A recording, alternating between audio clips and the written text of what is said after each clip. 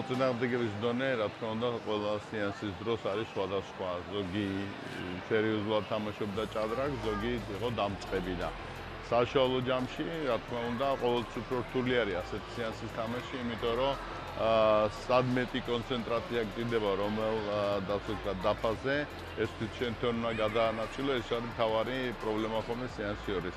დღეს მქონდა რამოდენიმე ესეთი პრობლემა, მაგრამ საბედნიერო ჩემთვის და სამწუხაროდ ჩემი მოტოქრებისთვის თავი გავარდა.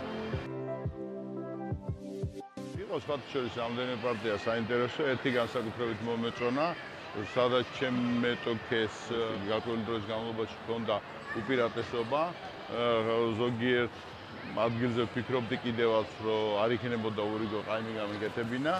მაგრამ მე რაღაცა გარკვეული თამაშის მერე მეტოქე აშკარად ვდილობდა რომ მოიგო, ყაიმზე აშკარად არ მიდიოდა, რითაც მინდა რომ თავისთავად გამოიყენო შემთხვევა და შევაქო, მაგრამ ზუსტად ის ერთი მომენტი შეიძლება ასე ითქვას კიდევაც იმანაც გამაზა და მე ძალიან კარგად ვითამაშე და გამოვიდა ეტიუდური შამათით გაგვიგრინდა პარტია.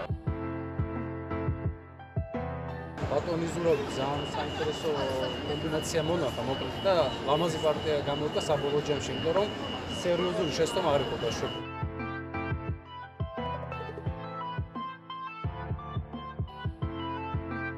რაც შეეხება ოლიმპიადას, ეს ძალიან დიდი ზეიმია ზოგადად. საერთოდ საქართველოს არის საჭადრაკო ქვეყანა და რაც მეტი ესეთი ღონისძიება ჩატარდება ჩვენთან, მით უკეთესი იქნება და რაც მეტი ბავშვი ითამაშებს ჭადრაკს, უფრო უკეთესი.